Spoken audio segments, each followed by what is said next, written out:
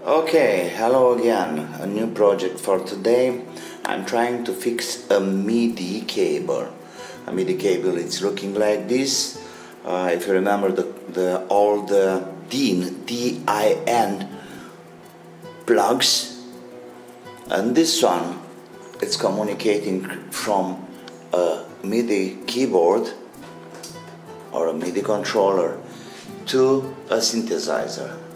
This one it's a synth, a synthesizer. It's made by Ketron and it's called MIDJ.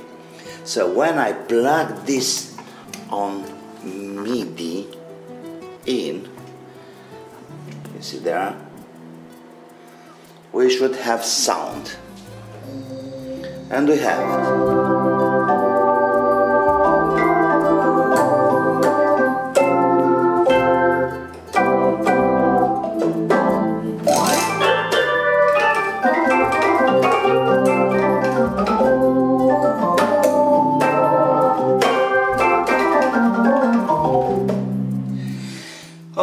So let's talk a little bit about a MIDI cable. You see the MIDI cables are using this, this kind of uh, 5 pin DIN, D-I-N plugs. It's almost like the old audio plugs for uh, tape recorders or cassette recorders in the old times. And um, I'm using audio cable. This is two wires with shield. So we have this look from the cable, okay? There we are, you see? Okay, so we count this number one and the screen or the ground, it's always number two and here we have number three. And then we have number four here and number five here. So, like I told you before, this is from inside, from from the cable. Take the cable like like you know the, the point of view. And then let me have the other connector here.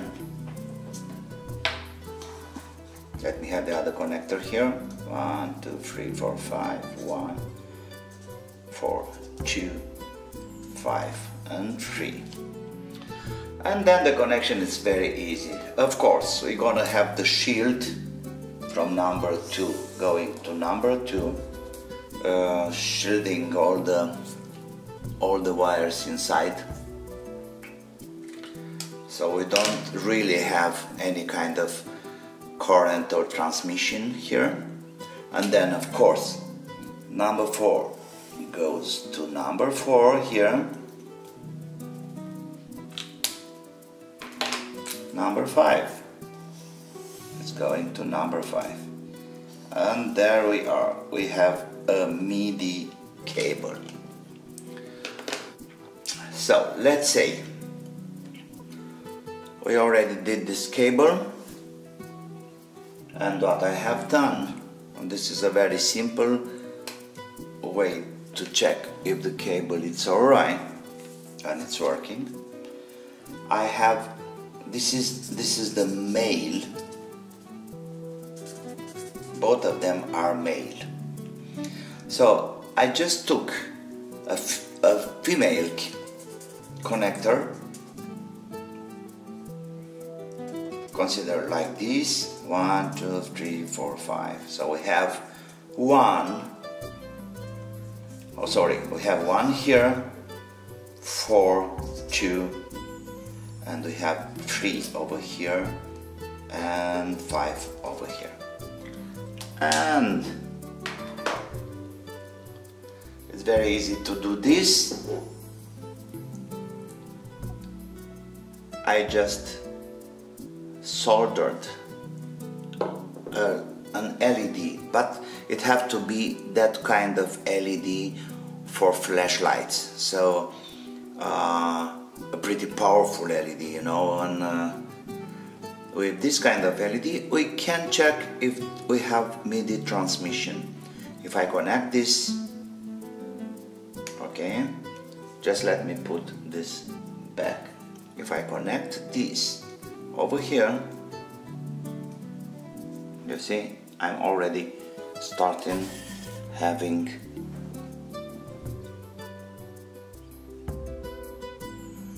LED light.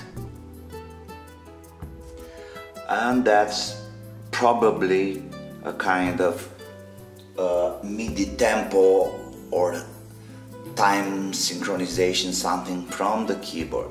And now you see I have the keyboard over here. When I'm pushing the keys I have better light and that means the keyboard is working and the cable is good. The, you know the the most important wires here it's number four and number five. All the transmission it's uh, in between these things. And uh, you see even volume slider or any other kind of MIDI signals here they are all translated to light okay so uh, before ending this let me talk a little bit about uh, how the MIDI transmission is working. Um, so let's say we have we have a keyboard here or a MIDI controller or anything else you know related to MIDI signals.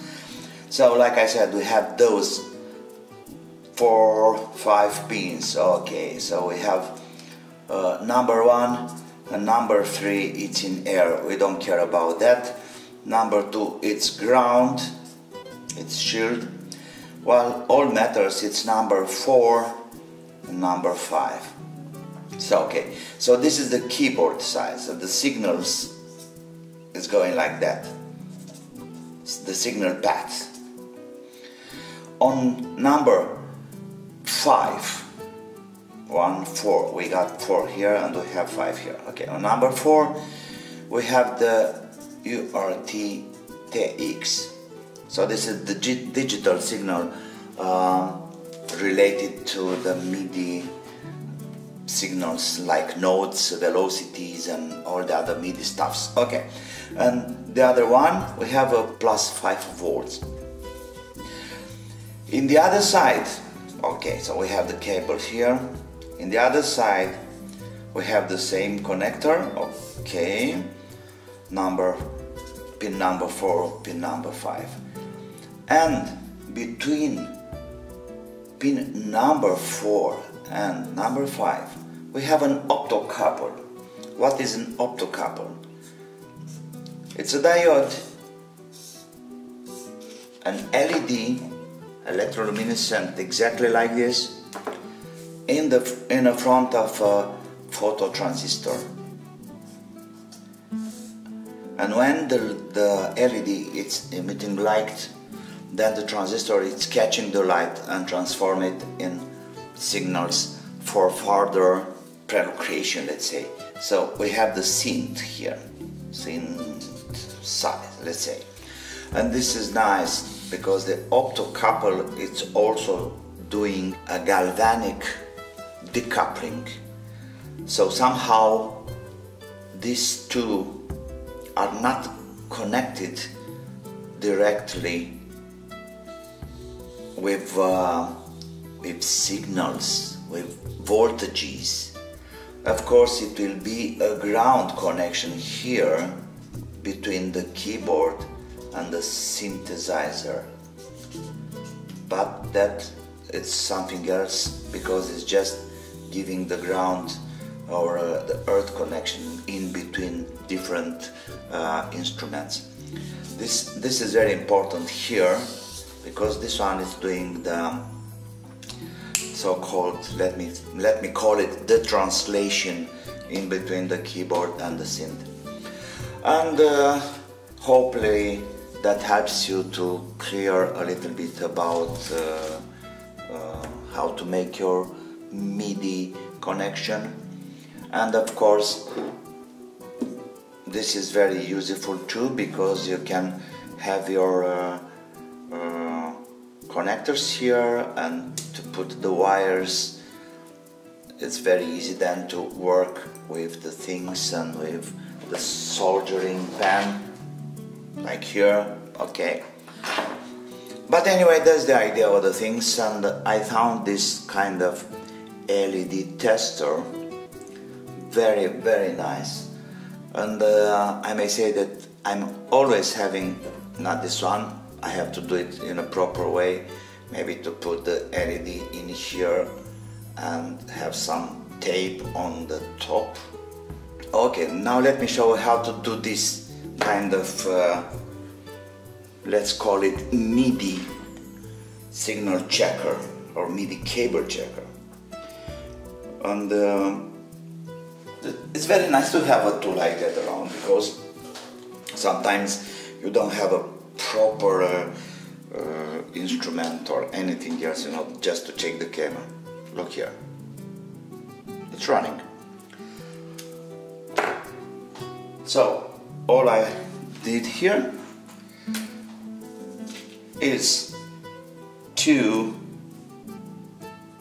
connect the diode like this plus on number 5.